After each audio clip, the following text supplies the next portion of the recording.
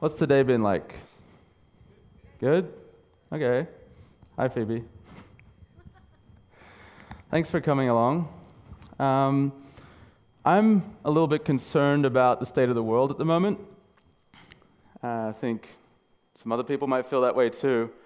And I think that the people who are in this room, and the kind of people who are in this room all over the world, are the people best positioned to do something about everything that's wrong with the world right now. And I want to talk you through why. So, right now, there's a lot of concerning things happening everywhere. Uh, there's also this problem where the people who are best positioned to do something about this are being ripped off, particularly in this country, every day. And I'm extremely pissed off about the behavior of the local investor scene. And I am going to be ripping through this halfway through this presentation because these guys are killing the people who are best positioned to do something to fix our future.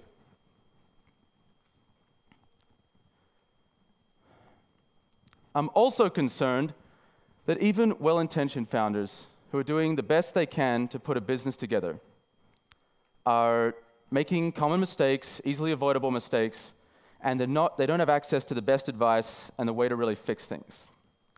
And so I'm going to be sharing a few tools to help that.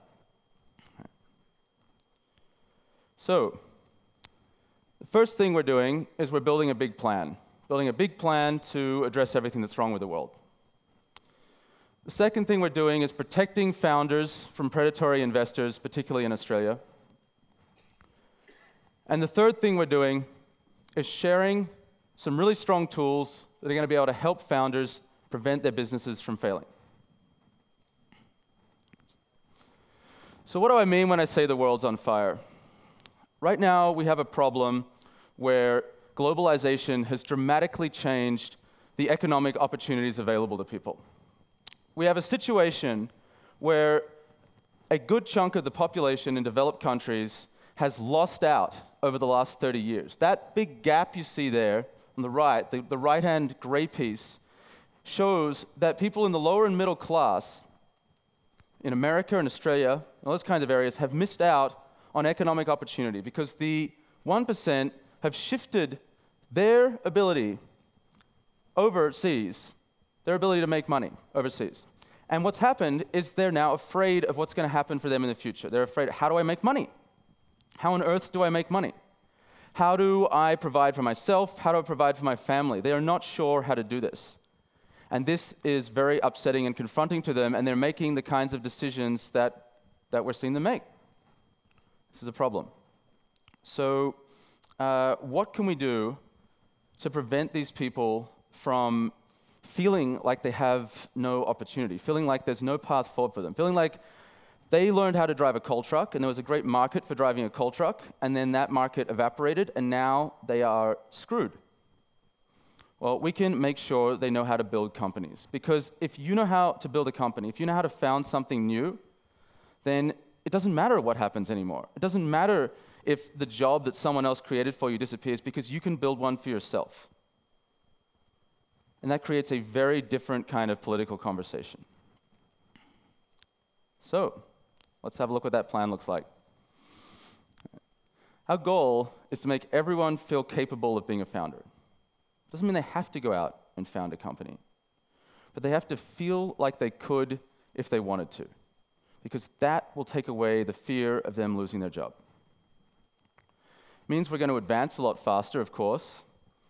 It means many more ideas are going to get explored because different perspectives can come into the world. And it means we can have economic stability and avoid some of the political problems that are happening right now. And those political problems are only going to get worse because the current state of affairs is due to globalization, but the next wave of problems is coming from automation. And that's what's really going to change things in a big way. So, how do we do this? All right? A few simple elements of culture. We need to make sure that founders, particularly from Australia, start speaking like founders from the US. When someone asks you what your company is doing, don't start by saying something like this. Well, we've just pivoted. Uh, not. So the thing is, look, we haven't, we haven't quite figured it out yet. At this point, everyone's already forgotten what you're doing, why you're doing it, and they don't care anymore. And this is something I keep saying because people keep doing it over and over again in this country. And we've got to stop. We've got to change the way we talk. Investors need to start working on the instruments that are common in Silicon Valley. They need to start working on safe documents, simple agreements for future equity. This is how, this is the standard investor template that Y Combinator has published, and investors need to start using it here. It's a much fairer deal for founders, and it prevents valuation discussions dragging on. It prevents unnecessary corporate structures being set up early, and it ensures that really strong companies don't have all the equity taken out of them early on. We need a fair deal for employees you think when you go and work for an early stage company, you, you get some options, right? You get this great deal like, yeah, look, my salary is pretty low, but at least I get some shares. Well, it's a little bit more complicated than that. Normally, what happens is you get those shares or the options to buy the shares, and then if you leave the company, you know, you've, you've been there a year or two, you've earned them properly, you've vested, you've vested these, these options. But then if you leave the company, the standard documents mean that 90 days, within 90 days of leaving the company, you must hand over cash for those options to actually turn into shares and become yours. And if you don't do that within 90 days, they evaporate. All those years of work that you put in on the understanding it was for equity are lost. They evaporate. They're gone. So that's not a very fair deal. And YC's been asking people to change this to 10 years, and I'm asking them to do the same. And I think this is going to create a much better situation where you actually have time to figure out if the company is valuable, and essentially you sell the stock on the same day that you buy it, and that way you're never out of pocket. Uh, I don't want to have the kind of toxic community situation that's existed where people on buses in San Francisco are literally throwing up, forcing themselves to throw up on the buses that take the tech company people to work because there's just such a war between the community and them. Like, there's got to be a better way. We've got to have people in the community see tech and startups as a good thing. Like, yes, there's some more tech people coming to the neighborhood. Yes, let's go and make it easy for them to do that. It doesn't take a lot to do that. Mark Benioff's done a really good job. Runs Salesforce. He's got great community initiatives. I know Atlassian's doing really well with that as well. The 1-1 pledge is a, sorry, 111 pledge is a really simple way to do that. So, you know, all that means is giving up 1% of your equity, 1% of your stock, and 1% of your sorry, 1% of your profit, 1% of your employees' time to the community, right? And now everyone's actually on the same side and they're working together. Uh, universities, just do that one quickly. Uh, we want to make sure that there's no raids like what Uber did to Carnegie Mellon, scooped up the entire robotics faculty, because that's going to make a, people want to create distance between the tech industry. But at the same time, universities need to come to the table as well. They need to stop asking for double digit equity for patent licenses. They need to stop messing around with you know, long processes. Because startups, the, the only advantage they have is speed. So if you take that away from them with a long process, then you've you basically killed them, right? Uh, and I'm making a couple of policy suggestions for government as well, mostly around just tightening things up in line with uh, the way uh, corporations are structured in the US to make it just a little bit easier to move forward. All right. So the other thing that I'd love people to work on is really hard, deep problems. Australia is the best in the world at computer vision. This is a fundamentally powerful technology that sits underneath self driving cars, drones, virtual reality, augmented reality, automated medical diagnostics, automated surgery. Like, could you imagine a more valuable thing to be doing? The people who have this skill are worth 10 to 30 million dollars to a company. Cruise Automation with 30 engineers got bought by GM for a billion dollars. Right? That's, that's insane. They're not the only ones like this. Prime, sorry, not PrimeSense. Uh, the, the underlying technology that goes in the, uh, used to go in the Tesla self-driving cars, Mobileye. That company is worth $8 billion. It has 550 employees. Right? Like these skills are extremely valuable. Australia is the best at this. Right? The inventor of SLAM has been at Sydney University running the Australian Centre for Field Robotics. That's the underlying original computer vision algorithm. We have the best people in the world. There's no reason why we shouldn't be engaging them and, and working on these, these deep tech. So let's have a look at a couple of deep tech startups I've had the, uh, the fortunate opportunity to see recently. Um, I'll welcome onto the stage uh, Anastasia, who uh, has a startup, FluroSat. FluroSat is a nanosatellite. Hey, Anastasia. Um, yeah, give her a round of applause.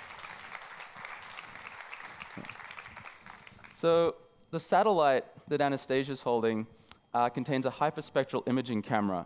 Uh, that camera can look at crops and see two weeks before you can tell with your own eye that there's a problem with the crops. That allows you to intervene early, use fewer chemicals, and get much higher yields. Thanks, Anastasia.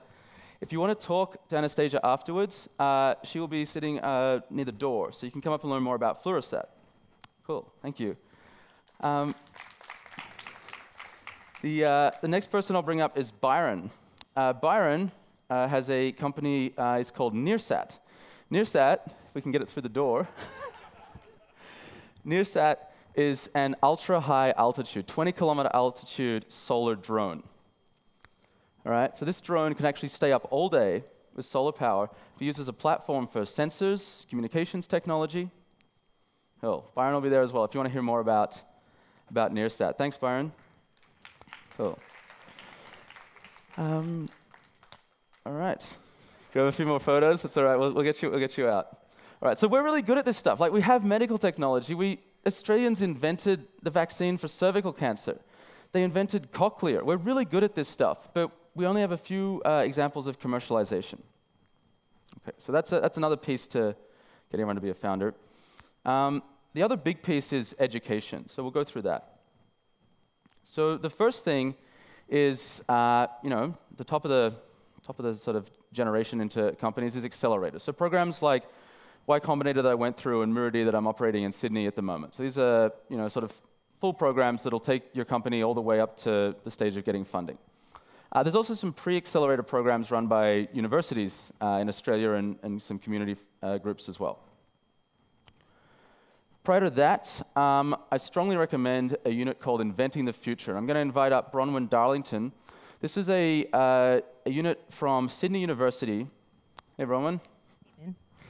Um, so Bronwyn's going to talk for a couple of minutes about what Inventing the Future does. Cool.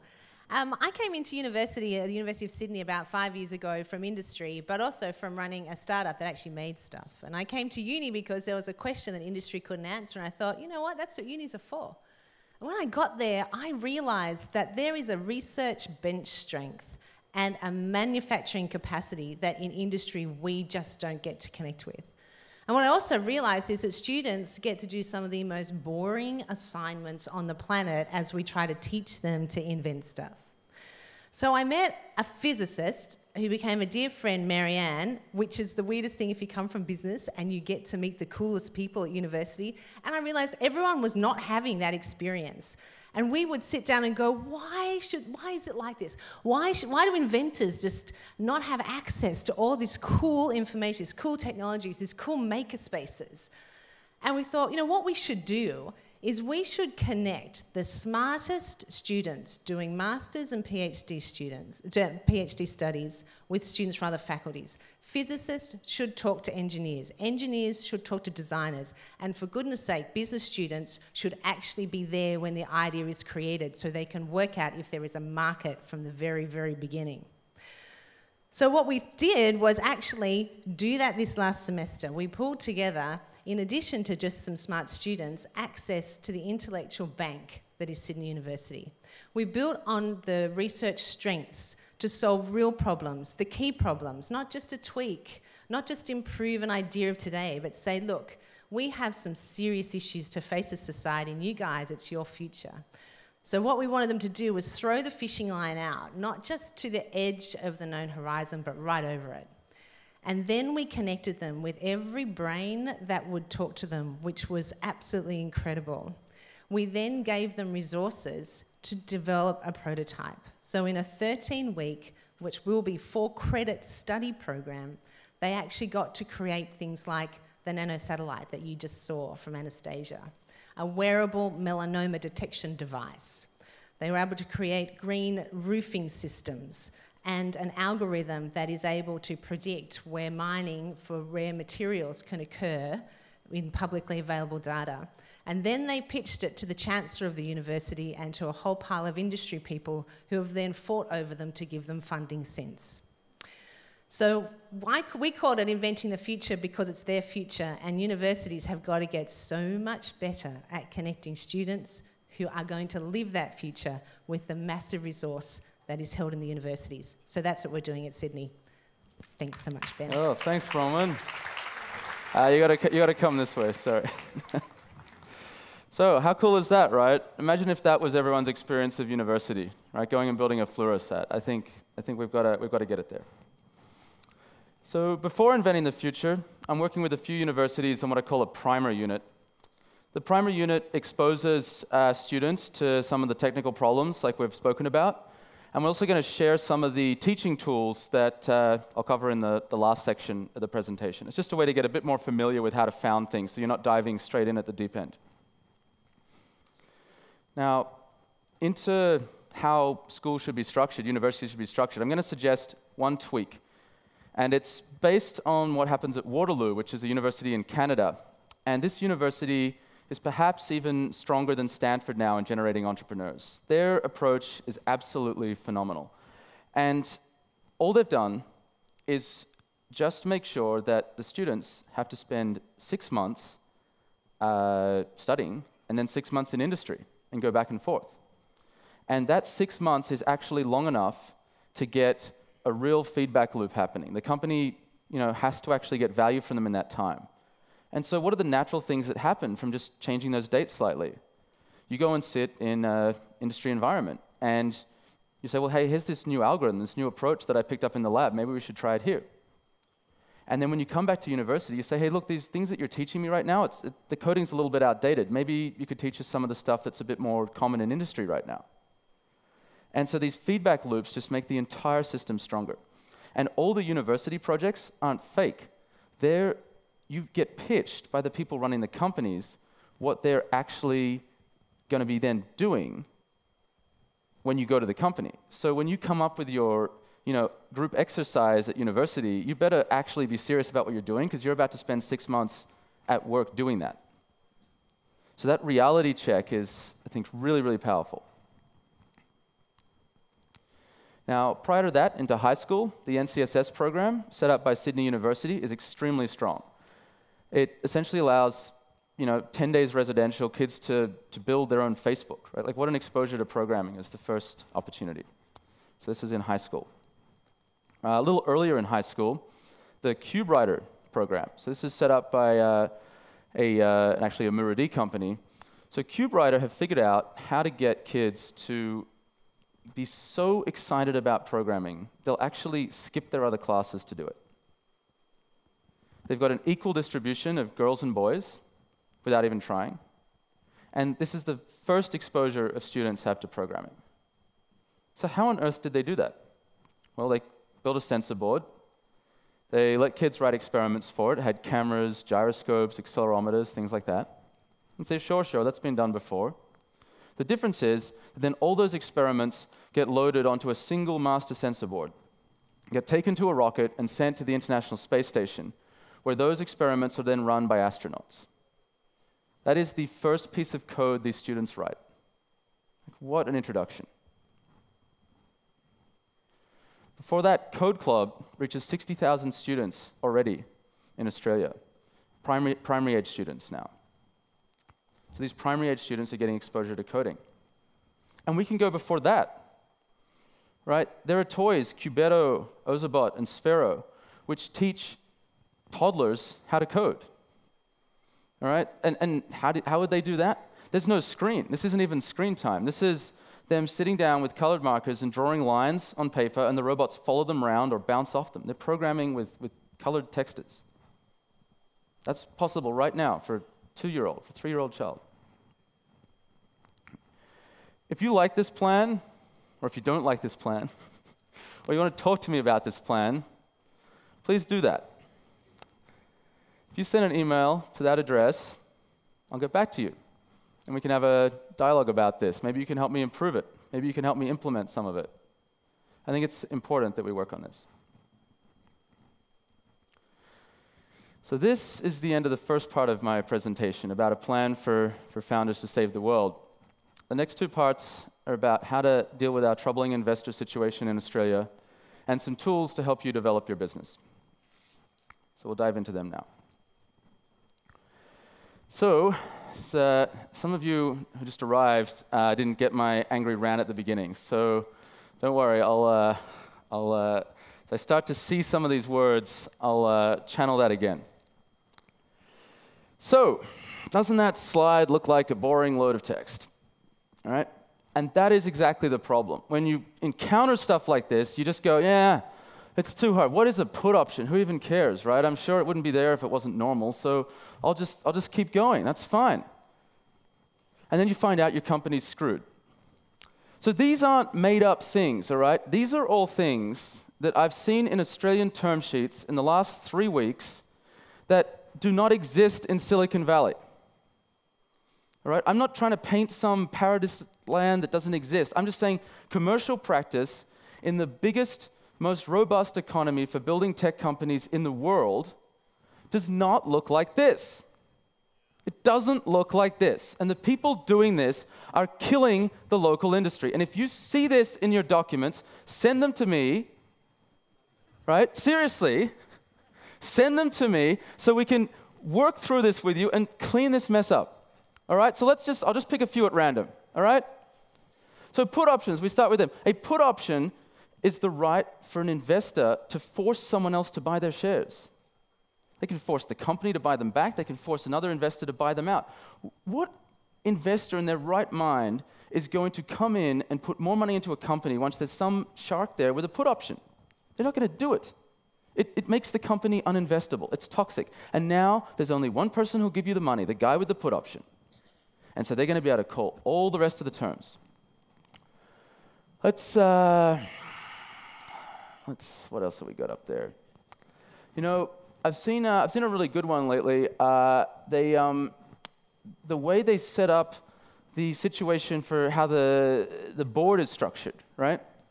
So they will, they will create terms that say you need, founders have board seats as long as they have 50% of the shares in the company. Okay. And you think, yeah, no worry, we got, we got all of them now. I mean, how long? That usually disappears at the second round, right? So by as a second round, you will not, there'll be a committee deciding how the company's run, and you as the founders will not be part of that. Someone else will be deciding how the, found, the company runs. All right? I mean, we could, we could go on and on and on. I'm going to I'm gonna write about these on the website. I don't want to get too into it right now, but this is it's just terrible. All right? The other thing is, is the bad behavior right? We've all seen these, these angel groups saying they'll, they'll never work with people with more than a few million dollars cap, saying that trying to treat you like they're this. When you go out and pitch to investors and you have a slide deck, okay, that is a normal thing to do to the final partnership meeting of a VC that has multiple billions of dollars in funds, right? That's when it's normal. Before that, you have a normal conversation over coffee with some partners, and before that, you have a conversation over coffee with a single partner. That's normal, okay? And all the investor money that you take in earlier, like all the $50,000, $100,000, $500,000, all that stuff that happens early, is a 20 minute chat over coffee at a Starbucks, a handshake deal on the spot, and money wired into account within a week with about a two to five page document signed. That's normal. That is not what happens here right? You'll be arguing for months. You'll be asked to go through diligence phases. You'll be paraded around and, and you know, told to wait in the waiting room while the, you know, the powers that be decide what. Look, that's just bullshit. Do not stand for that anymore. Right? It's terrible. So, what are we going to do about it? Well, this is, this is you know, how, how investors would likely, like to be viewed right now, how the, particularly many of the angels in the Sydney community would like to be viewed right now. And that's how I'd like you to think of them. Right? That's what's actually going on. So here's what we're going to do about it. Badinvestors.com. All right?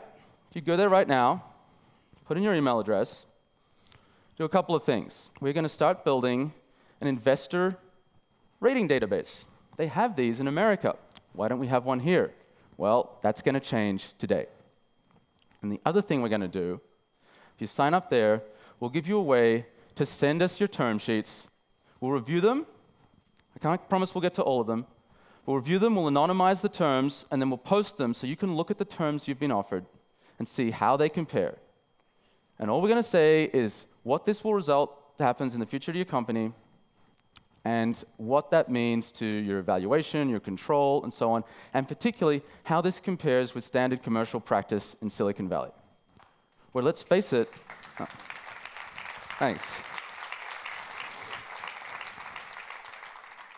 All right, so yeah, I'm, I'm pissed off. I'm glad you like this. let's, let's clean up the mess. Okay. All right. Um, I think, I think you know, I, I usually take a little bit just to get over the of that. All right. I Have actually have a little uh, little wearable device that's meant to sense my mood, so it usually starts buzzing when uh, when I'm talking about these topics. Um, okay, so all right, on to our uh, our last piece. How to help uh, how to help people build startups. This is what I actually like doing. All right, what I what I live for. I sit there and coach people. You know, every day, 10, 15 hours a day. I'm sitting there coaching people how to make their company stronger. This is what I live for. Um, because there's just a lot of common mistakes that can be avoided. So let's, you know, let's clear them up. Let's prevent you making those mistakes. Um, all right, so, you know, you think, sure, right? There's all this advice out there. That's great, you know. Go and read a book, watch a video. I mean, does it even apply to me now? I don't know. Or I go and get, you know, a bunch of advisors, go and join a program. That's like expensive, it's complicated, it takes a while to set up. So there's this sort of, you know, the automated approach is books, which are, you know, huge and long to read and not tailored to your specific moment. And the in-person approach is, is kind of expensive and time-consuming and uh, takes a while to set up.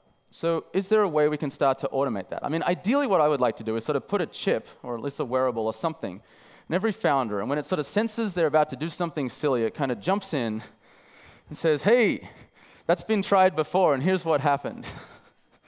you know? Have you considered some other alternatives? Um, so that's where we'd like to get to. The first thing I'm going to do to get to that is just condense the advice, right? So no longer are you handed a book. Uh, I don't even want to hand you a chapter. I want to hand you a single card. Single card that's been tested to help people build their businesses. And we've built 40 of these so far.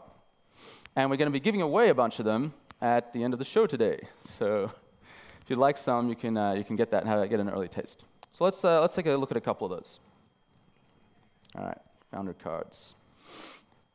So this one I like. Went through this on the way up. So most people have difficulty talking in public. I know I do. I don't like being up here.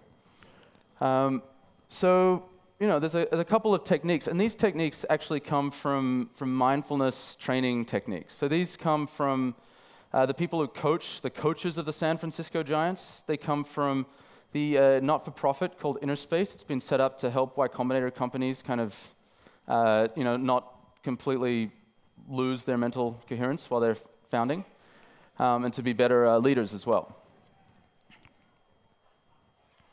Um, I'll just take one of the examples off this one. So a lot of people talk about messaging. My, my favorite hack for messaging is, uh, is don't, if you want to come up with a new way of talking about how a product works, don't you know, get a bunch of you know, people in a room and you know, whiteboard and start throwing around ideas. That's not going to teach you anything. You guys have known about this thing for years. Or maybe you go and get some expensive consultancy in. I've seen that happen a few times.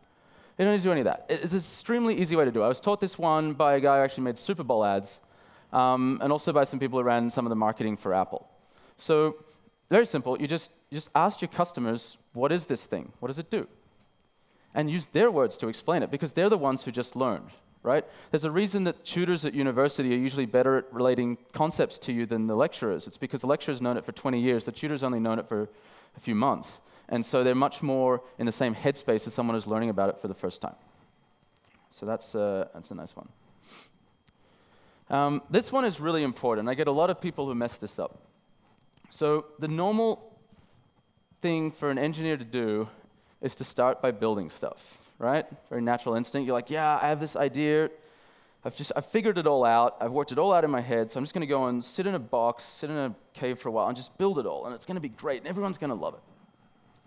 And I've done that before. I've done that for a number of startups, and they all crashed and burned, right?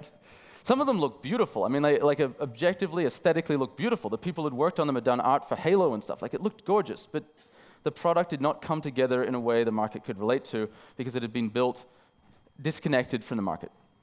So it's really, really important you, you follow this sequence, right? Pitch, prototype, sell, build. And do not build anything until you've got actual dollars of sales and investment until people are actually giving you money.